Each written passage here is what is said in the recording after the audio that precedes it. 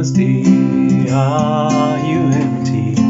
Come and drink these living waters. Tired and broken, peace unspoken, rest beside these living waters. Christ is calling, find refreshing at the cross of living waters. Lay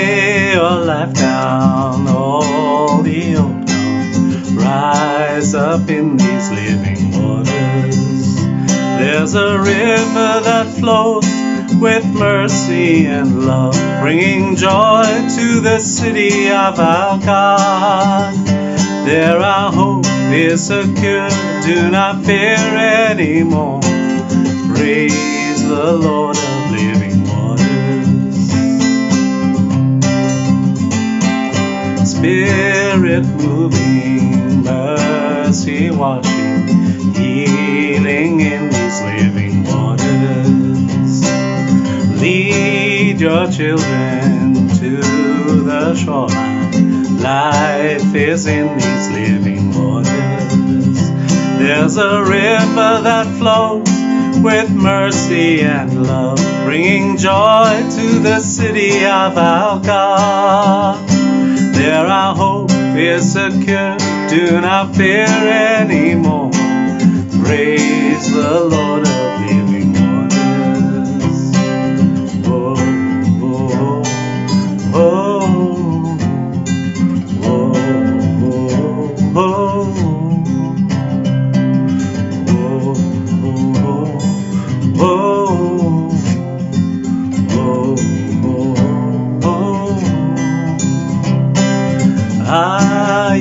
thirsty? Are you empty? Come and drink these living waters.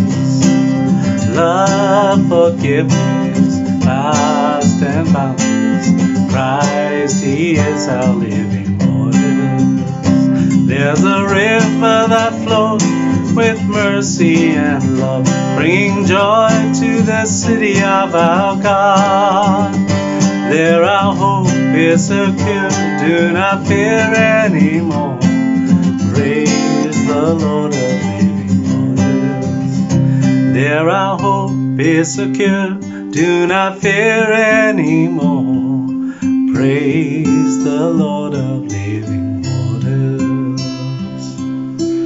Whoa, whoa, whoa,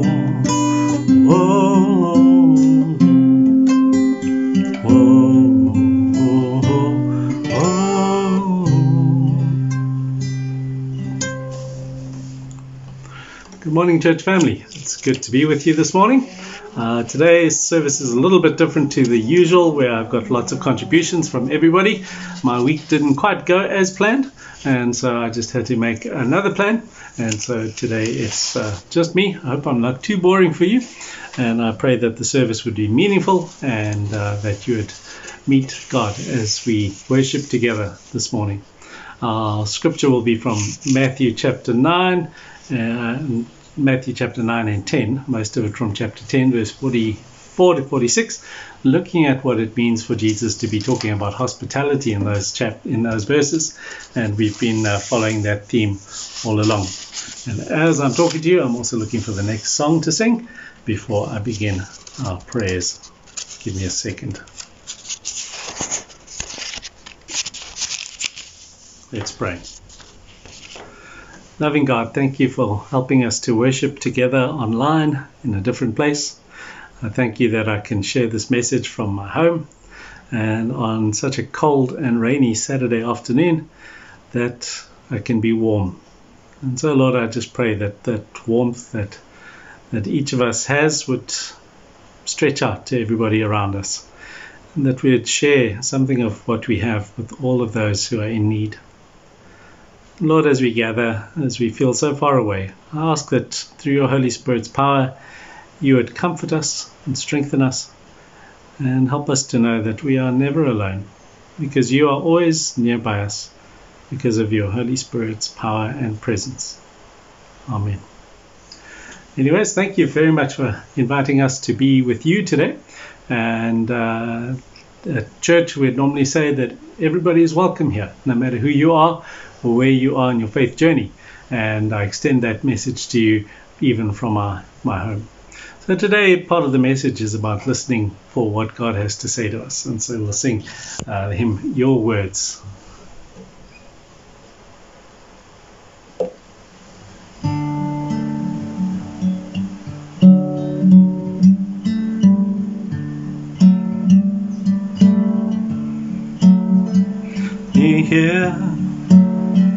Your words above all other voices, above all the distractions in this world.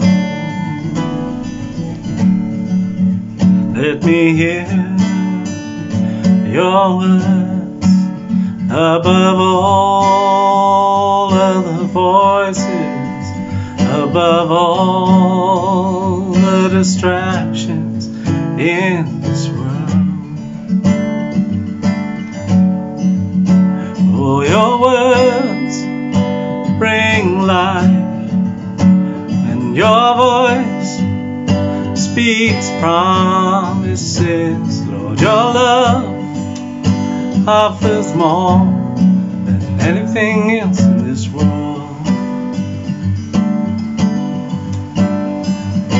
Your words give us life that's never ending. Your words bring us love that never fails. Everything else will fade away, but what will remain are your words.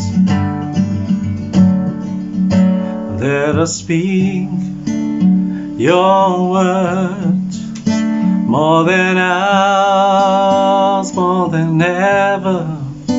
Let us share your love with all the world. Let us speak your words more than ours, more than ever. Let us share your love with all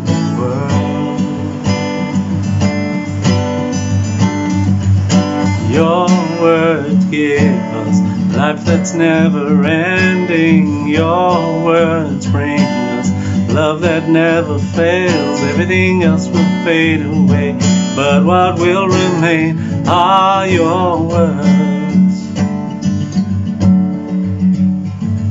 The grass will wither and the flowers will fall, but the word of our God will last forever. The grass will wither and the flowers will fall, but the word of our God will last forever. Your words give us life that's never ending. Your words bring us love that never fails. Everything else will fade away, but what will remain are your words.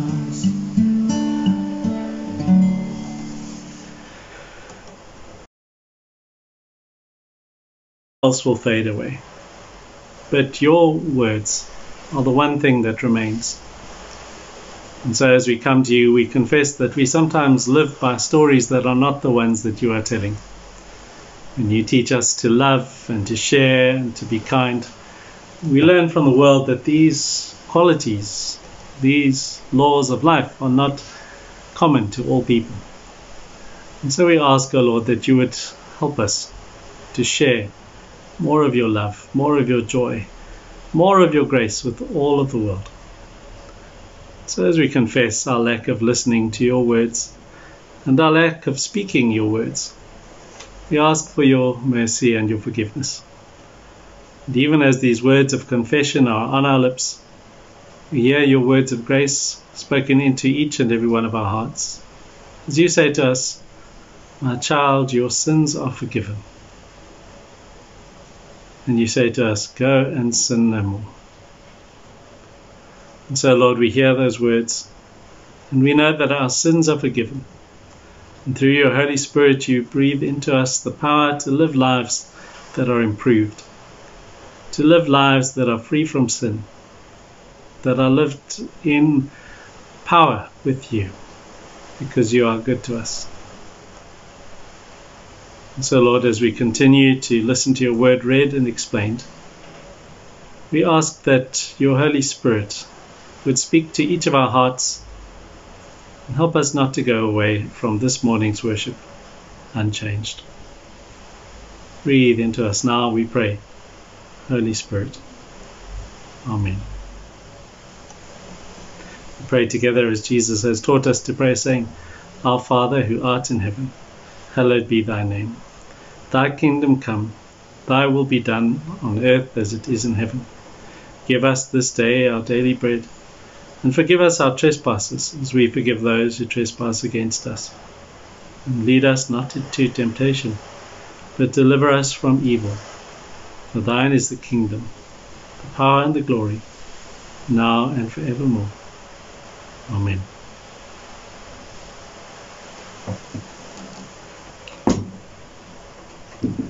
As I was preparing to do this service, I uh, was looking for an NIV version of the Bible, and I found this old Bible of mine, which I've had, um, I think, for for all of this century.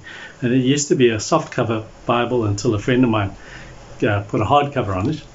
But the other funny thing about it, besides the, the writing being so small, I can hardly read it anymore. So I must be getting a little older. Uh, on a rainy day like this, I was stuck hiking somewhere uh, in the United Kingdom and it got soggy. And in my backpack it all got wet. But it's still there. And of all my paper bibles this is the only one i've read from cover to cover. One holiday i decided that i would i would read through it. And i must say that it was a very good uh, experience. If you're at a loss for things to do uh, why not read the whole bible? You might have time. Anyways we're going to read from matthew chapter 10 the main uh, scripture is from matthew chapter 10 verse 40, so small I can hardly find it, uh, to 42, but I'm just going to add another one from verse 11 through 16 to add to that, to 15, sorry. So from Matthew 10, verse 11. Whatever town or village you enter, search for some worthy person there and stay at his house until you leave. As you enter the home, give it your greeting. If the home is deserving, let your peace rest on it. If it is not, let your peace return to you. If anyone will not welcome you or listen to your words, shake the dust off your feet when you leave that home or town. I tell you the truth. It will be more bearable for Sodom and Gomorrah on the day of judgment than for that town. I'm sending you out like sheep among wolves. Therefore be as shrewd as snakes and as innocent as doves. And then from verse 42. 40. He who receives you receives me, and he who receives me receives the one he who receives the one who sent me. Anyone who receives a prophet because he is a prophet will receive a prophet's reward. And anyone who receives a righteous man because he is a righteous man will receive a righteous man's reward. And if anyone gives even a cup of cold water to one of these little ones because he is my disciple, I tell you the truth, he will certainly not lose his reward. Amen. Thanks be to God for his word to us. And may the words of my mouth and the meditations of our hearts be acceptable in your sight, we pray. Amen. At the beginning of this uh, lockdown, and actually, in fact, just before the lockdown, I took a picture of the empty church and I made a, a, sign for it that said, The church has left the building. And it had nothing to do with lockdown. I just was, I thought that was quite a clever thing to remind us that the church building is not the church and the church is the people. And in that situation, the people weren't in the church anymore. And so the church had left the building. But now that we are not able to meet in our building, it seems more appropriate. But the thing that we need to say is that that church has left the building thing is talking about how the church is alive and well out in the world doing its mission. It's not really a good thing that the church is not in its building, but we do understand why we need to not be in our building for now, and we look forward to returning to it as soon as possible. And so we also pray that as this time continues, this difficult time of of the peak infection, as they say in the Western Cape, we pray that everybody will be safe. And remember, week uh, the first three weeks when you had lock, stage five lockdown, if you can do stage five lockdown at this time, carry on doing that because at this time you are most at risk for catching COVID out uh, in the shops or, or wherever you go because many people have been infected. Several folks at church have been infected with the COVID virus. Uh, they haven't asked me to tell anybody or anything like that, so I don't really want to go and make a list of those who who have uh, been diagnosed with COVID. But uh, please uh, keep everybody in your prayers. This is a very serious disease, and uh, a reminder that most people survive COVID, but for those who who who experience it as a as a very severe illness, it is very dangerous and uh, a, a, horrible experience. So we keep everybody in our prayers, but don't lose, uh, you know, don't panic. Um, stay hopeful. Things might not be as bad as they seem. I think that we sometimes think that things are are out of control when we when we know that they they can we can we'll survive. I think one of the things about the whole lockdown and everything is to know that the reason for the lockdown is that we want to prevent overwhelming the hospital facilities. Uh, so that's that's um, quite heavy going, but the sort of good and bad news is that the hospital facilities aren't that great, anyways. And so, um, by avoiding overcrowding the hospitals, we are really trying to keep um, infections down to a minimum. And most people who have been infected have recovered. But at this time, we are going through the highest infection and uh, ask everybody to please stay safe, to pray for those who are sick, and to uplift everybody. And then also, it was a sad Friday morning for me this Friday as I baptized uh, a baby, James, the son of Celeste. And uh, not many of you know, know Celeste. She's new to our community, lives right near the church. Um, and James passed away in the night on Thursday night. And so I baptized him on Friday morning, reminding us of the hope that we have in resurrection and life. And it really was a profound moment. And I'm sharing it with you because we'd normally baptize in church on a Sunday. And so we recognize James as one of the children members of our church who has passed on. And uh, James, who was three months old, will be buried from our church on Sunday, or his funeral will be on Sunday, the 5th of July. But uh, normal service will continue on video, and those invited to the memorial service for James will, will be there with me on the 5th of July. So keep Celeste and her family in your prayers, and uh, you know, um, pray for everybody who who who loses children in such a way. It seems like it was sudden infant death syndrome. So please keep Celeste in your prayers and keep everybody who suffers and struggles in your prayers. But also remember with joy the name of a little boy whose name was James and who is comforted and consoled in Jesus' arms today. Back to Matthew chapter 10 there's a, a, theologian, Emmanuel Katongole, writes Even in a deeply divided world, even in the most deeply divided relationship, the way things are is not the way things have to be. What we need is not simply better gear and techniques, but a story that helps us remember another world is possible. The good news is that God's story offers us just that. In the midst of our world's deep brokenness, God's kingdom breaks in to create new possibilities. And you could pause the video there if you're watching it on video and, and just uh, think about that quote. The good news is that God's story offers us a different way of healing the world. And over the past few weeks, we've been talking about Matthew chapter 10. In Matthew chapter 10, Jesus sends out his disciples to spread the gospel. we might get distracted by what we think is impressive that he was sending them out to heal and to cure diseases and all of those things. And we might think, well, that would be quite useful right now. But the most important part of what Jesus sent his disciples to do is told to us in Matthew 10, verse 7. Preach this message The kingdom of heaven is near. And so they go out to preach the anticipatory news of the gospel of the kingdom of heaven, the good news about God.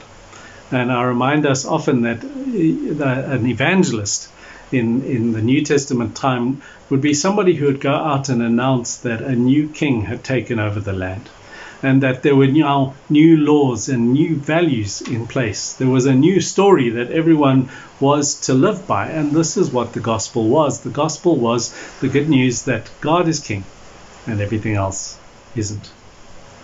And so we think of the kingdom that we pray for when we say the Lord's Prayer. When we say, Your kingdom come, your will be done. We're not saying, Oh, I just surrender to, to the brokenness of this world. We're saying, Let's turn the world the way it is upside down and let's see the healing of this world. Let's see God's will being done instead of our will. Let God's healing come instead of our brokenness. And so they go out to proclaim that God's will, as opposed to the will of man and the brokenness of the world, be done. And so when people say that they think that COVID is COVID-19 is God's will, you need to correct them and say, no, this is the circumstance of the time. This is the circumstance of the world. This is circumstantial of God. God can take the brokenness of this moment and turn it around for good. But that doesn't mean that we can say this is what God had planned for the world. I would think that we'd have to reckon that if we had spent less money on military and less money on luxury, we could have spent more money on medicine, and by now there'd be cures for such diseases but instead the world continues to invest in war and division and brokenness and greed. So we can't say that something like COVID 19 is God's will. We have to say this is something that's happened because of our brokenness and our sin, and God's will is that it would be healed and cured, and God has given us the scientific knowledge, the, the, the time and the expertise to deal with, with issues like this and God's will would be that we had overcome this disease. But God's will is also that when bad circumstances happen, through the grace of his healing and love, remember that verse, by his wounds we're healed. He takes the woundedness of the world that we live in and he turns that into resurrection. And he takes the woundedness that we experience and turns that into life so that we find ourselves healed. This is the, the will of God, the kingdom of God that we pray for in Romans chapter 14, verse 7, it's described as righteousness, peace, and joy in the Holy Spirit. Just think about that and what it means for the community in which we live. Imagine if when we went out onto the streets, we didn't see bitterness and anger, and we didn't see injustice. We didn't see this unsettling brokenness of relationships. But instead, when we met with people, wherever we went, whatever suburb, bad or good, we found that people were righteous. There was justice. There was there was a good relationship between people and God. There was peace. There was shalom. Imagine that kind of sense of community. That there was shalom. That that if you were in need, you could go to your neighbor and ask for something. If if someone else was in need, there would be no shame in coming to you to ask for some because there'd be shalom between you. That that desire to lift each other up and make sure that everybody has what they need. Righteousness, peace, and joy. The will of God is that there be joy in the world, that we would smile and, and laugh and have fun when we see the good things that happen around us, that, that when we see others enjoying their lives, when we see others celebrating, we would celebrate too, and, and that all in the power and the strength of the Holy Spirit. So all of these things are embodied in what the disciples are called to go and do in Matthew 10, verse 8 heal the sick, raise the dead, cleanse those who have leprosy, drive out demons. Freely you have received, freely give, he tells them. The disciples are instructed not to take anything with them not to take any bags of clothes, not to take any money, may just one stick to keep yourself going when you're on on, on the road. Nothing nothing else but but the knowledge of the story of God's kingdom. Nothing else but the knowledge of the story of God's love, and with that knowledge to proclaim healing and deliverance from demons and cleansing of lepers, uh, to freely give and to show the world a way of giving freely, a way that would probably upset those who control and hold power in the world, in a way that actually upsets some. Because imagine that uh, what Jesus describes, some people won't want you to to come and preach this message. They're going to reject you. When you reach a town and somebody says you're not welcome here or you feel like you're not welcome, just shake the dust off your feet and move on. Because some people don't want to hear this good news about the love and grace of God that brings healing and restoration and reconciliation. They bring the good news of the kingdom of God. The good news that God is king and you are not. But we don't want to hear that because we like to be the kings ourselves. The good news is that God is king and, and Caesar is not. The government is not king. Jesus is king. The good news that God is king and death is not. That death does not have the final say, the final victory over all of us. The good news that God is king and your bank account and the money that you have in your pocket or in your wallet is not king. The emptiness of your bank account or the fullness of your bank account doesn't define who you are. He reminds us you can't serve two masters. You have one king. No one can serve two masters. Either he will hate the one and love the other, or he'll be devoted to the one and despise the other, says Matthew 6, verse 24. You cannot serve both God and money. And so, all of these things that the disciples come to do, they come to proclaim the kingdom of God, to tell the good news, they come with nothing in their pockets, nothing in their bags, because they come just to tell the good news about the free gift of God's grace. This news is not always welcome. In fact, we know that sometimes when we hear the good news of the kingdom of God, we react in a certain way because when we hear the good news of the kingdom of God, we realize that it means that something about the way that we live should change. Something about the way that we value ourselves or the value the things that we own or value value money and power and strength should change and we're not that delighted to let go of the things that we hold on to. We're actually quite blind when we hear the truth about how we should turn around or change. We're quite blind, and sometimes we get angry and we say something like, "Hey, but but you, but you, what what are you saying? But you, what, you know, how we are when we listen to this good news." And sometimes when you go about telling this good news, expect people to react in a certain way and to be treated in a certain way. And so when you get treated in a certain way, Jesus reminds us to, to move on, to go your way. But he does give a warning. He says, I tell you the truth, it will be more bearable for Sodom and Gomorrah on the day of judgment than for that town. It will be more bearable for Sodom and Gomorrah on the day of judgment. And you know, that sounds terrible. We remember what happened to those towns and remember what they represent, but, but Ezekiel chapter 16, verse 49 describes the sin of Sodom, and it's probably not what you think. Now, this was the sin of your sister Sodom. She and her daughters were arrogant, overfed, and unconcerned. They did not help the poor and needy. That's the sin of Sodom. Overfed, arrogant, and unconcerned. This is why people don't want to hear the good news of the gospel of the kingdom of God. This is why you don't want to hear the good news of the gospel of the kingdom of God because because you're arrogant, overfed, unconcerned, and you don't help the poor and needy. And as I say that, I'm looking at the screen on my camera, and that guy in there is saying it to me too because I think I might be one of those people who is overfed, unconcerned, and not very helpful to the poor and needy. We're not good listeners. We only hear what we want to hear. We only live by the story that we want to live by. We live by the story that says you've got to amass wealth for yourself. You've got to keep yourself secure. You've got to look after number one without looking after anybody else. You've got to make sure that you're okay and everybody else survives.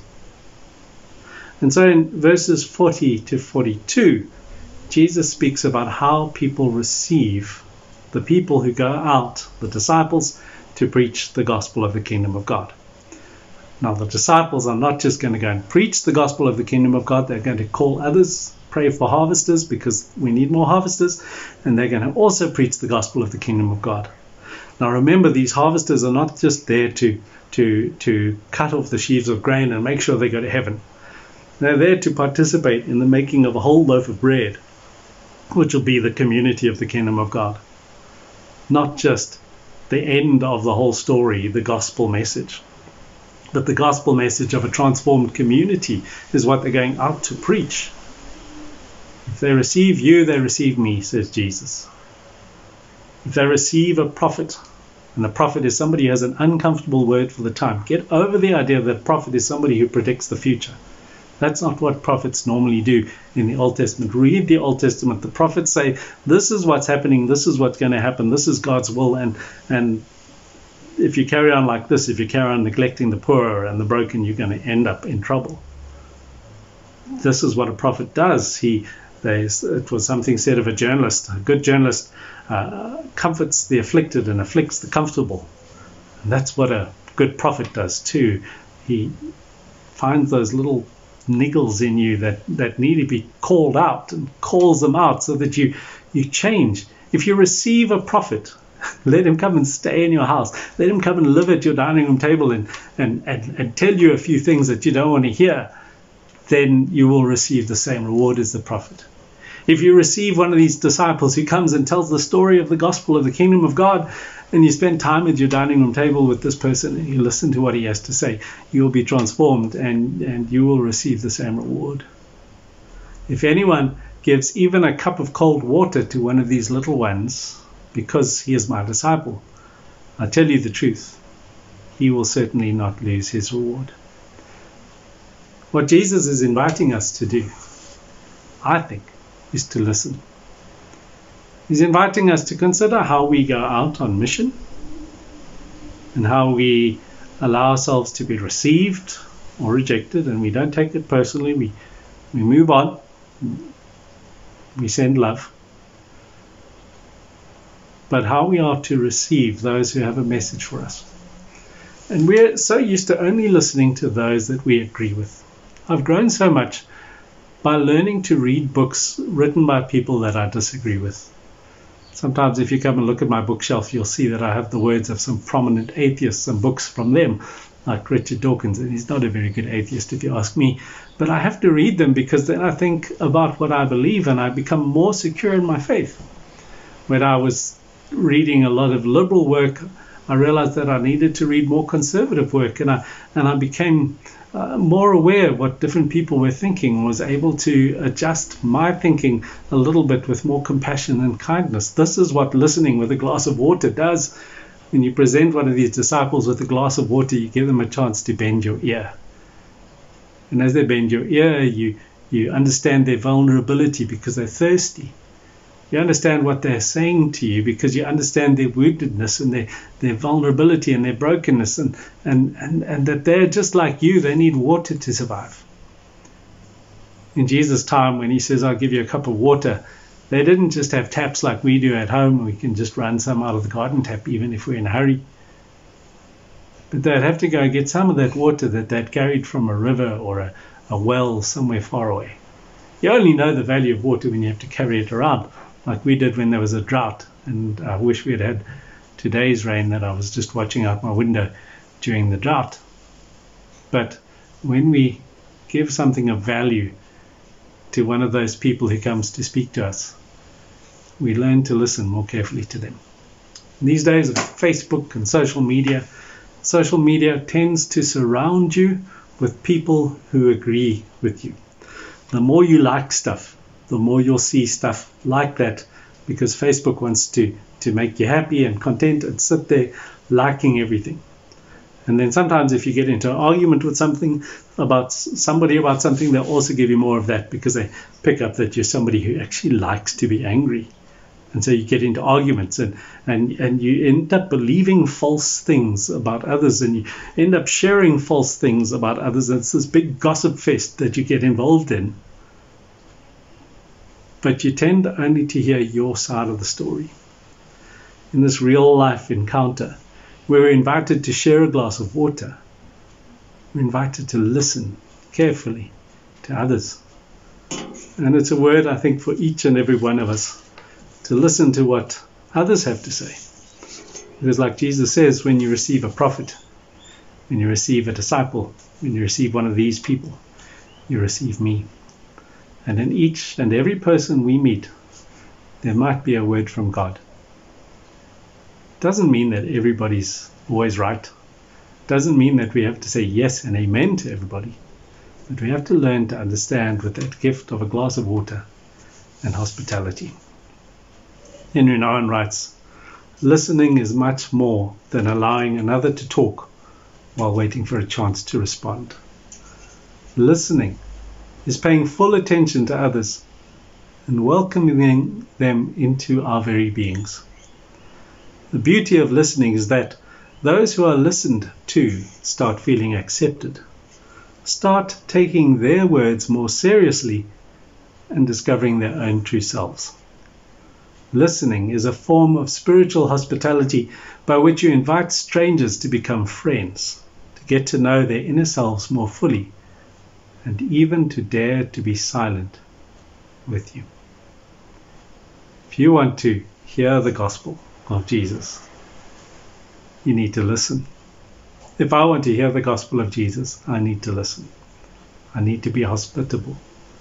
I need to invite others in and share a glass of water with them, or a meal, or even my home. So much so that I begin to understand their experience and their brokenness and, and, and who they are and what they're going through. So that even if initially I disagree with them, I might understand their point of view. I pray that this helps us as, as I see more and more how people get divided. Masks, no masks, uh, lockdown, no lockdown, this political party, that political party. Let's learn to listen. And create this alternative story, which is the story of the kingdom of God, where we put our faith in Jesus and not in ourselves and our own power. Amen. Tell me the old, old story of unseen things above of Jesus and His glory, of Jesus and His love. Tell me the story simply as to a little child, for I am weak and weary and helpless and defiled.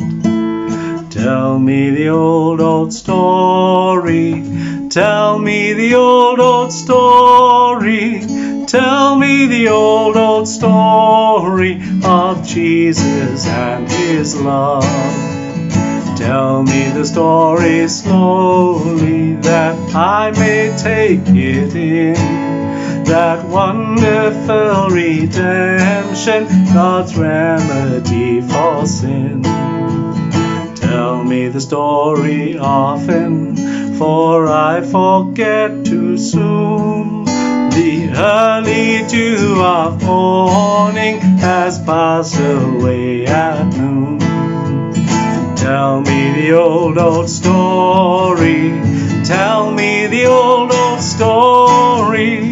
Tell me the old, old story of Jesus and his love. Tell me the story softly with earnest tones and grave. Remember, I'm the sinner whom Jesus came to save. Tell me the story always if you would really be any times of trouble a comforter to me. Tell me the old, old story. Tell me the old, old story. Tell me the old, old story of Jesus and his love. Tell me the same old story when you have cause to fear that this world's empty glory is costing me too dear. Yes, and when the world's glory is dawning on my soul, tell me the old, old story. Christ Jesus makes me whole. Tell me the old, old story. Tell me the old, old story. Tell me the old, old story of Jesus and his love. Amen. And now may the grace of our Lord Jesus Christ, the love of God, and the fellowship of the Holy Spirit be with us all, now and forevermore. Amen.